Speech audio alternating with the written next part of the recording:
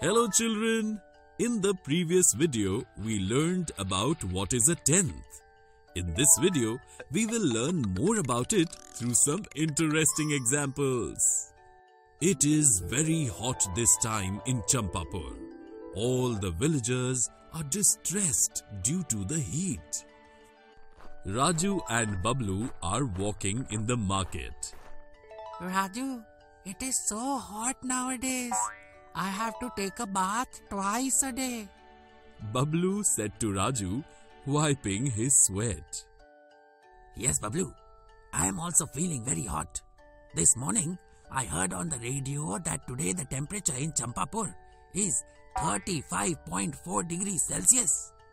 What is degree Celsius, Raju? Degree Celsius is the unit for measuring temperature. Raju explained to Bablu. Okay, I understood degree Celsius. 35.4 degrees Celsius. Raju, 35 is fine, but what is this point 4? Bablu asked Raju. One tenth indicates that a degree is being divided into 10 equal parts. And because the number after the decimal point is 4, we can say that here we are taking 4 out of the 10 parts of a degree. In this way, we can also write 0.4 as 4 tenth in the form of a fraction. Raju explained to Bablu. Well, if tomorrow's temperature is 36.2 degrees Celsius, then we can say that 0.2 degrees Celsius is 2 tenth of a degree Celsius or 2 by 10 of a degree Celsius. Bablu said excitedly. Alright, Bablu, let us go for a walk on the seashore. We will get some relief from this terrible heat. Wow, Raju, let's buy new slippers for you and me so that we can have a lot of fun on the beach. In the shoe shop, Gaggu first measured Raju's foot. Raju, your foot is a little over 15 centimeters. Bablu told Raju. Yes, Bablu, my foot measures 15 centimeters and 4 millimeters. Now, what is this millimeter? Bablu asked Raju. Look, there are 10 equal parts of a centimeter on a scale.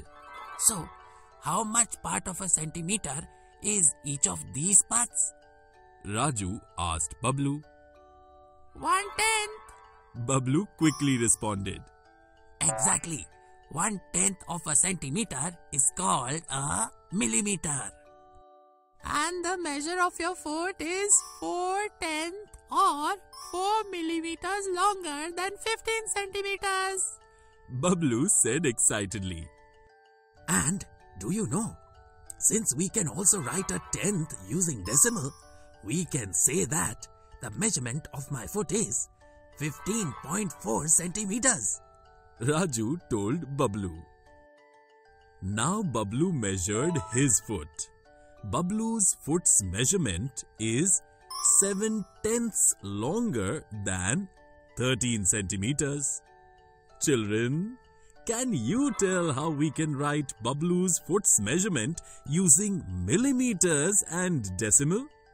If you wish to, you may stop the video and find the answer.